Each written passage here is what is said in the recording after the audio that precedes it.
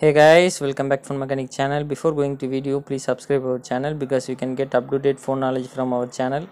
And in this video we have learned about how to take screenshot in vivo v21 e mobile and here we go. First to take a screenshot sweep your screen using three finger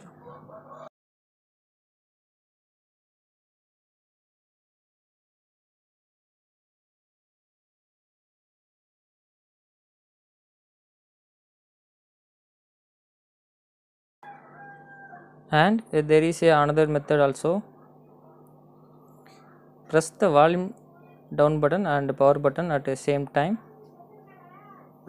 You will set get a screenshot after that. Press the save button. It will save your gallery. And we have to another method. Here you go to see.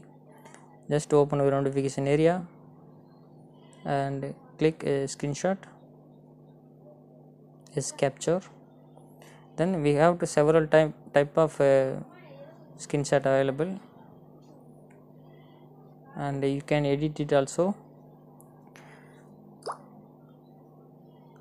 After that uh, you can grab your screenshot in various size as you like. First I check out hard type. And you can grab and you can save it also.